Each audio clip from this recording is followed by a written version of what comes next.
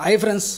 మనకి చాలామంది అసలు మీరు గరం మసాలా చేస్తారు కదండి. అంటే నాన్ వెజ్ ఐటమ్స్లో గరం మసాలా వేస్తున్నారు కదా అది ఏ విధంగా చేస్తారో ఒకసారి చెప్పండి. దానికోసం మాకు ఒక వీడియో చెయ్యండి అనేసి అంటున్నారు.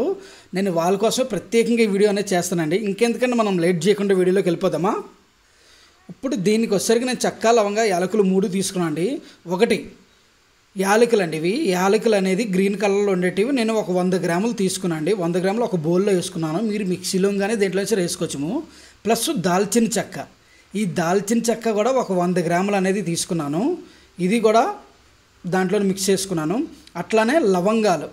ఈ లవంగా కూడా ఒక వంద గ్రాములు అనేది తీసుకున్నాను. ఇది కూడా దాంట్లోనే నేను వేసుకున్నానండి. ఈ మూడింటిని కలిపి వేపకూడదు మనం. గుర్తుంచుకోవాలి మీరు. వేపొద్దు. వేపితే దీంట్లో ఉండే ఫ్లేవర్ మొత్తం మనం పౌడర్ పెట్టేటప్పుడు వెళ్ళిపోద్ది అన్నమాట. దీన్ని పౌడర్ చేసుకొని కలుద్దాం. చూసారు కదండి? ఈ పౌడర్ అనేది ఈ టైప్లో కొద్దిగా మనకి మరీ మెత్తగా పౌడర్ లెక్క కాకుండా కొద్దిగా లాస్ట్లో కొద్దిగా నలిగి నలినట్టుగా అయితే మీరు చేసుకోండి అసలు. ఈ టైప్లో కొద్ది కొద్ది ఉంటుంది. అసలు సూపర్ ఉంటుందండి. ఓన్లీ నాన్ వెజ్ ఐటమ్స్లో. మీకు వీడియో నచ్చిందా? ఒక లైక్ చేయండి.